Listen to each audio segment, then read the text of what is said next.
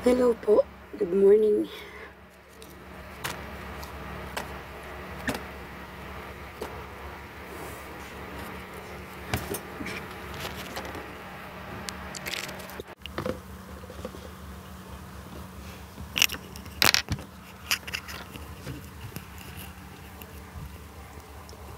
Good morning po. Kakatapos ko lang maglakad at ang pawis ko. Hmm, kumusta po kayo? Magandang umaga, magandang gabi at doon po sa lahat ng manonood pa. Ah, kumusta yung buhay-buhay natin? At still stand kahit anong nangyayari. Laban lang tayo, lalo na po yung mga OFW dito sa iba't ibang parte ng bansa na dumadaan sa mga sitwasyon na ganito. Ang buhay po natin ay gulong ng gulong ng 'di ba? Parang gulong na parang ngayon okay ka bukas parang kalmado lang kinabukasan ulit parang 'di ba? Yung sitwasyon ng buhay natin is ano-ano lang. Up down up down up down. Kanina umaga meron nangiram ako ng Bible. Hindi tayo dito ano ah, sorry po. Yung sasabing makajos makajos ano yung parang syempre na wala kang ano kaya nagbasa ako. So doon ako sa Psalms ano parang sinasabi niya na sabi niya sa Psalms 43 hindi ko pinili pero na, ito lang ang naisip kong basahin. Sabi niya vindicate me O God and plead my cause against an ungodly nation. Rescue me from deceitful and wicked men. You are my God my stronghold. Why have you rejected me? Why must I go about mourning, oppressed by the enemy? Diba? Minsan ganun, no?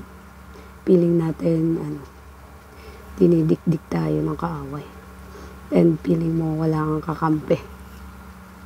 Send forth, sabi niyo, send forth your light and your truth. Let them guide me. Diba? Sabi, send me your light iliwanag mo at ang katotohanan mo. And yun yung mag-guide sa akin. Let them bring me to your holy mountain.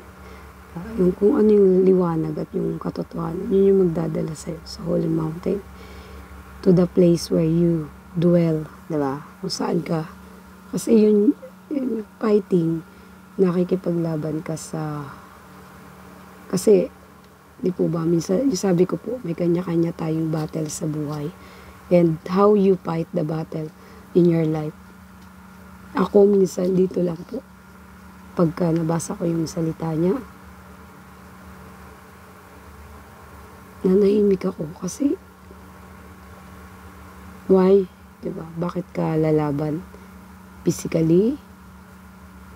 And why not fight in prayer?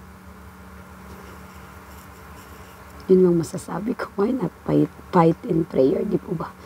Sabi niya, to the place where you dwell. So, yun doon, doon ka lalaban. Kung sa place po na nakikipag-dwell ka. Then I will go to the altar of God.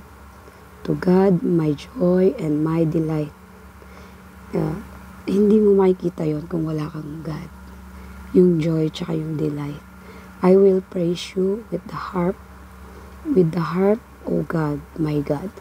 Why are you downcast, O my soul? Why so disturbed within me? Diba? Yun yung naramdaman ko ng mga ilang days. Na parang sinasabi ko sa sarili ko, Why are you downcast, O my soul? Why you disturb within me? Put your hope in God, for I will yet praise Him, my Savior and my God. Yeah, parang ah, dahil sa napanood mo na gano'n na nangyari, parang biglang okay ka na ulit eh. Tapos ito na naman. Diba? O, even di mo na napapanood, may mga tao pa rin na nagsasabi sa'yo, ganito, ganyan, ganito, ganyan. Pero, why? Yan nga, why? Bakit nada-downcast ang soul mo? And why nadi-disturb dun sa kaloob-looban mo? Put your hope in God, for I will yet praise Him, my Savior and my God. Di ba? Parang, ah, bakit nga no? Sabi niya, put your trust in Him, my Savior and my God. So, kahit ano pa pong mangyari, kahit baliktarin, magkabaliktaran. I mean, still, no, still, alam mo may kakapitan ka. Kasi kung wala kang, hindi mo man lang alam basahin, hindi mo man lang alam basahin yung salita niya at di mo pang hawakan. Feeling ko da down, down ka talaga. As in, babagsak ka. Kasi wala kang pinanghahawakan. Hindi to ah. Nandito yan. Kaya, ayun, ang masasabi ko sa ngayon. Nga pala, meron lang akong ipapakita. Yung sing-sing po na lagi kong suot. Nandyan pa po. Hindi ko naman talaga tinapon. Kinip ko po siya. At alam naman yun ni Bong. Mapanood man ni Bong to. Hindi ko itatapon yun. Kahit ano pa mangyari, itatago ko. Ikikip ko talaga. Nakakalungkot na parang parang baliktad kasi parang kung hindi mo pala kaya bakit ka bumitaw? Hindi mo pala kaya. Nakakalungkot isipin, tignan. Lalo yung nangyaring ganun. Parang, durog ka. Dinurog ka pa ulit. Yeah, pero wala na yun. Basta yung akin, kung ano man yung memories na meron kami noon, I always keep it in my heart. Kasi hindi yun, hindi yun nilaro eh. Hindi yun, hindi yun games lang. Na parang pagkatapos ng games, end na. Hayaan na. Ano siya eh? Minahal ko po talaga. As in. Minahal ko yun. At alam kong naramdaman niya yun. Hindi yun pagkukunwari. Naramdaman niya po yun. So, sa inyo na nakakaranas ng mga ganitong pakaramdam, kumapit lang kayo sa Panginoon. Ako lang sasuggest, kapit po kayo kasi malaking tulong siya na mag-stand ka still dun sa sitwasyon na meron kang pagdadaanan pa. ba? Diba? Sa akin, hindi na to is, kumbaga, yes, bagong pain, bagong pain, pero hindi na ganun siya na, lalo yung unang-unang pain na naramdaman mo, ng mga na-encounter mo sa buhay, ang sasakit nun, diba? Sobrang sakit. As in, parang di mo na kaya. But now, andun eh, yung two days, three days ka na, parang, inapakan, dinurong, parang ganun lang ang pakiramdam. Tapos, ano parang giniling. ganun yung emotion. Pero, nakita ko pa rin na yung hawak ng Panginoon sa buhay ko. Yun yung parang kaya kong ipagmalaki. Kung mayroon man magtatanong sa akin, how you handle the situation. Dahil sa Kanya, siya yung tumulong sa akin. Kasi kung wala, at doon sa mga tao, no? Pasalamatan ko yung mga tao nandyan para alalayan ako, makinig, even sinasabi ko na pwede bang tumawag just to cry out, just to cry. And mm, willing siyang mag makinig lang. Alam mo yung nakikinig lang and listen to your yung ganun. ang hirap pa naman pong umiyak pag uh, asa kwarto ka ng amo mo, di ba? ang hirap. Tapos sumasakit na yung ganto mo. Ang hirap. Kaya, kung meron ka naman kaibigan na maiiyakan, iyak. Kasi ma- ang tao, may hina yan, may kahinaan yan. Dumarating ka pa rin sa punto na nararamdaman mong mahina ka. Pakita ko po yung singsing na lagi kong suot noon nung, nung kami pa. And I always keep it. I always keep it.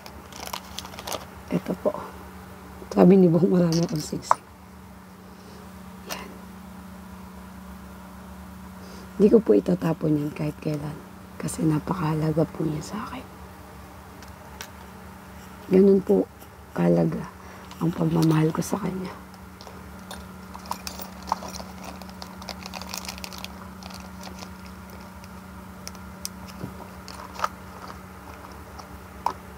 Mm-hmm. Namumulaw. Ay, nako. Ang life. Life goes on and on and on. Kayo po, paano, paano nyo napaglalabanan nyo sistema ng buhay nyo na nai-encounter nyo everyday? Lalo na po yung mga OFW na as in, di ba, nakakasad, minsan may napanood po ako yung, as in yung hindi na kinakaya and hindi nila naisip kung gano'ng kahalaga yung buhay nila or may mga anak pa sila sa Pilipinas. Paano nyo hinahandle diba? bilang OFW ang lalakas ng loob natin, di ba? Kasi OFW ako, sama ko na sarili ko. OFW tayo. Paano natin pinaglalabanan yung ganong sistema ng buhay natin na mag-isa lang tayo dito sa bansa kung saan tayo nagtatrabaho. Ako naging kalakasan ko noon yung anak ko. Nung mga panahon na nabib na nakakaramdam ka ng pagod, lungkot, sakit. Lagi kong iniisip nandyan yung anak ko. Parang nung nakaraan, ay hindi ka makakain. Totoo yan, hindi ko kayo nahihiya. Hindi ako makakain, two days. Halos di ako kumakain. Tubig lang, kape, tubig. Pero, there's ano na nagsabi, Huy, isipin mo yung anak mo.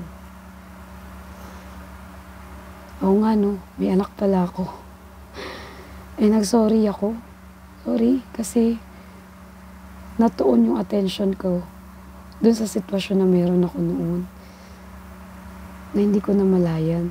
Hulog na hulog na ako ba? Parang gano'n. As in, tapos biglang, hmm? O nga no? Kailangan ko palang bumangon kasi may anak ako. Alam niyo po, yung boses ko hindi pa talaga bumabalik. Kaya medyo pahirapan pa to. Kasi, mula nung Friday, ah, last week na, no? Nag one year, one week na po. Na parang, yung boses ko, ano, paus. Kasi nga po, ang dami kong kausap nung time na yun. Kasi, kailangan ko nakausap.